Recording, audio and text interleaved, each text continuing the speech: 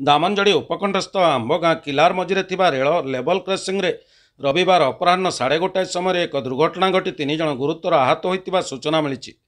ଆହତମାନଙ୍କୁ ଦାମନଯୋଡ଼ି ନାଲ୍କୋ ହସ୍ପିଟାଲରେ ଭର୍ତ୍ତି କରାଯାଇଥିବା ବେଳେ ଦାମନଯୋଡ଼ି ଥାନା ପୋଲିସ ଘଟଣାସ୍ଥଳରେ ପହଞ୍ଚି ତଦନ୍ତ କରୁଛି।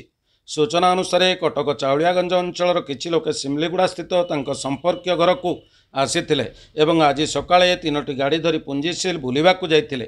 ପୁଞ୍ଜିସିଲ୍ରୁ ସିମଲିଗୁଡ଼ା ଫେରିବା ସମୟରେ କିଲାର ଆମ୍ବଗାଁ ଲେବଲ କ୍ରସିଂରେ ଦୁଇଟି ଗାଡ଼ି ପାର ହୋଇଯାଇଥିବା ବେଳେ ଅନ୍ୟ ଏକ ଗାଡ଼ି କ୍ରସିଂ ପାର ହେବା ସମୟରେ ଦାମନଯୋଡ଼ି ଷ୍ଟେସନ ପଟୁ ଏକ ରେଳ ଇଞ୍ଜିନ୍ ଦ୍ରୁତ ଗତିରେ ଉକ୍ତ କାର୍କୁ ଧକ୍କା ଦେଇଥିଲା।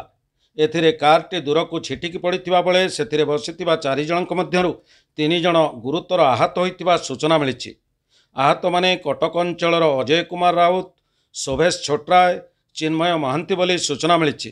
ତେବେ ଉକ୍ତ ଲେବଲ କ୍ରସିଂ ଫାଟକବିହୀନ ରହିଥିବାରୁ ସେହି ସ୍ଥାନରେ ଅନେକ ଥର ଦୁର୍ଘଟଣାରେ ପ୍ରାଣହାନି ଘଟୁଥିବା ବେଳେ ଏଥିପାଇଁ ଓଭରବ୍ରିଜ୍ ଓ ଫାଟକ ନିର୍ମାଣ ପାଇଁ ରେଳ ବିଭାଗ ଜିଲ୍ଲା ପ୍ରଶାସନକୁ ସ୍ଥାନୀୟ ଲୋକେ ଜଣାଇଥିଲେ ବି କାହାରି ଦୃଷ୍ଟି ପଡ଼ୁନଥିବା ସ୍ଥାନୀୟ ଲୋକେ ଅଭିଯୋଗ କରିଛନ୍ତି। ଲେବୁଲ୍ କ୍ରସିଂ ଖୋଲା ଲେବୁଲ୍ କ୍ରସିଂ କିଛି ନାହିଁ। ସେଠି ମୋର ଶଳା ସଢ଼ୁ ଆଉ ଶଳା ଭାଉଜ ହେଲେ ସମସ୍ତେ ତିନିଟା ଗାଡ଼ି କରି ଆମେ ଫେରୁଥିଲୁ। ଫେରିଲା ପରେ ଆମେ ଦୁଇଟା ଗାଡ଼ି କ୍ରସ୍ କଲୁ ତୃତୀୟ ଗାଡ଼ି କ୍ରସ୍ କଲା ବେଳେ ଅଧା ହେଇଛି ସ୍ପିଡ଼ ବହୁତ ସ୍ପିଡ଼ରେ ସେ ଆସୁଥିଲା। ଆଉ ପିଟି ଦେଇକି ପଳେଇଲା ଆଉ କ'ଣ। ଯାହାଫଳରେ କି ମୋର ଶଳାର ଅବସ୍ଥା ବହୁତ ସିରିୟସ୍ ଆଉ ସଢ଼ୁର ଅବସ୍ଥା ବି ସେମିତି ହେଲା। ଆଉ ଏ ବର୍ତ୍ତମାନ ଆମ ନାଲକୋ ହସ୍ପିଟାଲରେ ଅଛୁ। ତେଣୁ ତୁରନ୍ତ ସେ ଲେବୁଲ୍ କ୍ରସିଂକୁ ଗେଟ୍ କରାଯାଉ ନା ପୁରା ବନ୍ଦ କରିଦିଆଯାଉ। ଏହାଦ୍ୱାରା ଜୀବନହାନି ହେବ। ଆଉ ବହୁତ ଲୋକ ଏମିତି ଆମ ପରି ବି ଭୋଗିବେ। ସେମାନେ ସବୁ କଟକର ହେଲା କି? କଟକର ସେ ଉମ୍, ଷ- ମୋର ସଡ଼ୁ ଯିଏ ଚାଉଳିଆଗଞ୍ଜର ସେ ସଡ଼ୁ ଯିଏ ଡକ୍ଟର ଅଛନ୍ତି ଆଉ ଶଳା ଦୁଇ ଜଣ ବି ଚାଉଳିଆଗଞ୍ଜର ହେଲା କି?